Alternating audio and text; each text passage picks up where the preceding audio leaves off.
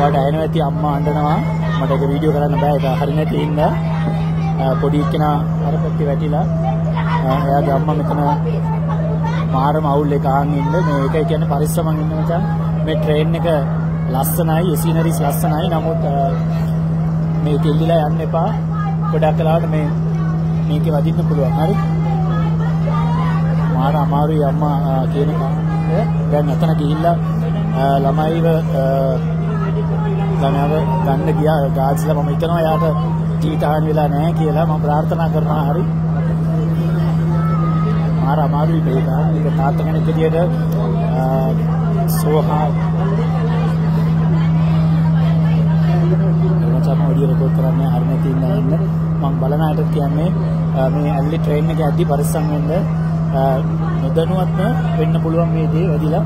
මොකද වැටුනොත් එහෙම කෝච් කකුල් දෙක හරි ගැටලා යන්න පුළුවන්. හරි? හරි? නම් පරිස්සමින්.